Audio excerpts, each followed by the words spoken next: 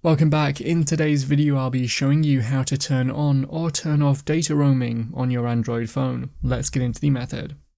Firstly, open the main settings app and then tap into the search box at the top and type in roaming or data roaming.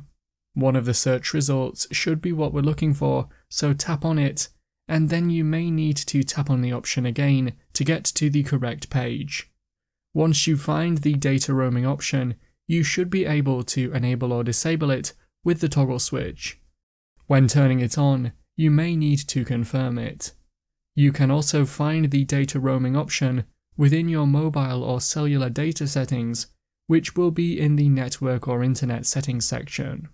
If you aren't able to turn it on, ensure that data itself is turned on, which you can do from the quick access menu.